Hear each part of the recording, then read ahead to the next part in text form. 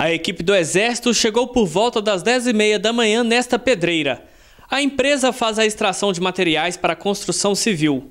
A Operação Rastilho é coordenada pela Diretoria de Fiscalização de Produtos Controlados. Segundo o comando do Exército, a fiscalização acontece até esta sexta-feira. Fiscalização de produtos controlados é uma atividade que é de conhecimento de todos, é, pertencente ao controle é, do Exército Brasileiro, né, com uma atividade que vem sendo feita já há bastante tempo.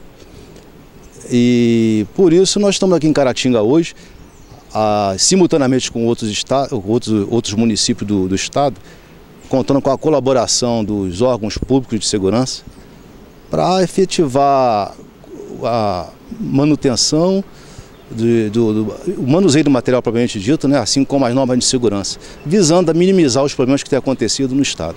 A operação contou com o apoio do 62º Batalhão da Polícia Militar de Caratinga e dos bombeiros militares da cidade.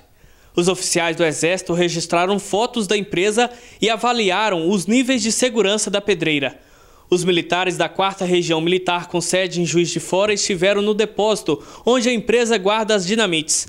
A fiscalização tem o objetivo de inspecionar o armamento e o transporte de explosivos evitando assim que os artefatos sejam roubados por quadrilhas especializadas em explosão a bancos.